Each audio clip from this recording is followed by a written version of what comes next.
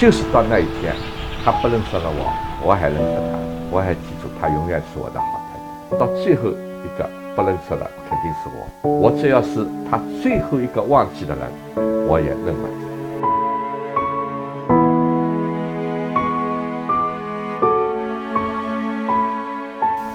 我呢，今年呢七十三岁了。我们本来呢是一个很幸福的家庭。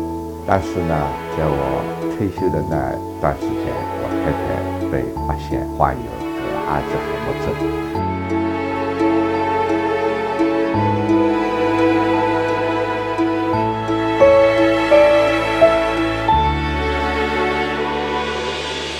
我太太呢，为了我们这个家，她做出了很多牺牲。那么我当时呢，我想我我有一工作嘛，家里几乎全交给她的。现在我拼命的工作，赚了钱，就想带带着我太太呢到世界各地去周游。带她出去玩的时候呢，我发现啊，回来找不到自己的房间。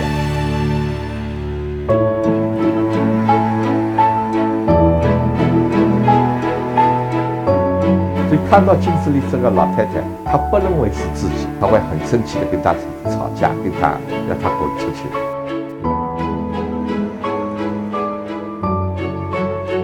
他会闻到家里有一些怪的味道，有的时候他甚至骂我死老头子，你几天没洗澡了。有的时候我跟他讲，我我有高血压，我是医生开的中药。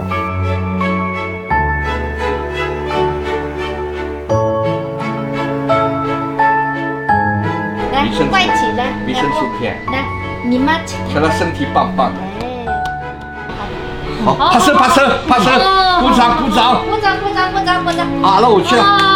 哎呦，妈，是我去了。哎呦，花子，洗手洗的漂亮了，我妈啊，吃的可好嘞。哎呦，真棒，真棒啊！好好。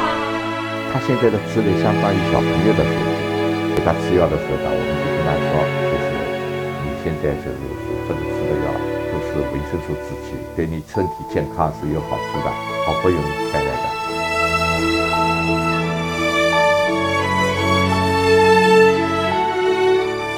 这个病是很不幸的，其实对吧？他不会说，因为他没有这方面的思维。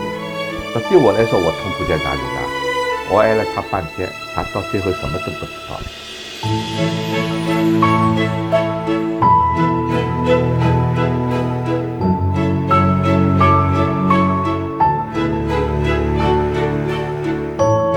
就是到那一天，他不认识了我，我还认识他，我还记住他永远是我的好。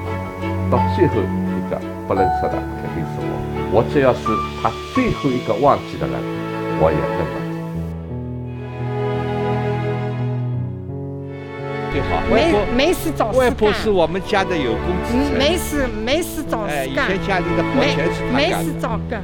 哎外公一直在没外没没作事找事干现。在外公老了，外婆啊永远不分离，啊。我们一直在一起啊。